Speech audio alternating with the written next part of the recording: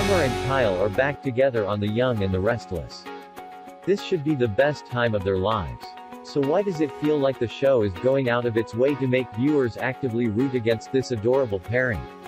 We spent over a year being told that Kyle's soulmate was Lola. Kyle was so desperate to save her life that he agreed to marry a blackmailing Summer. They were supposed to stay married for at least a year, but Kyle couldn't stand to be away from his true love, dumped Summer, and went running back to Lola. They wed. They talked about fancy vacations, houses, babies.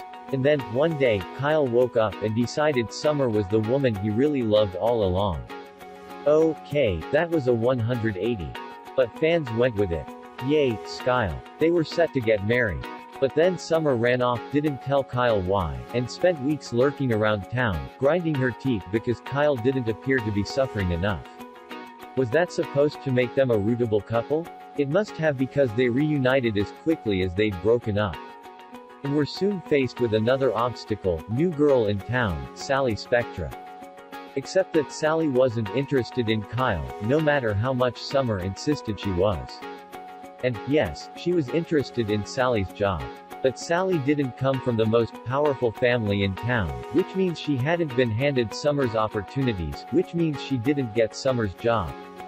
YR obviously wants us to be on Summer and Kyle's side, and the actors are doing their best to bring sense to a nonsensical storyline.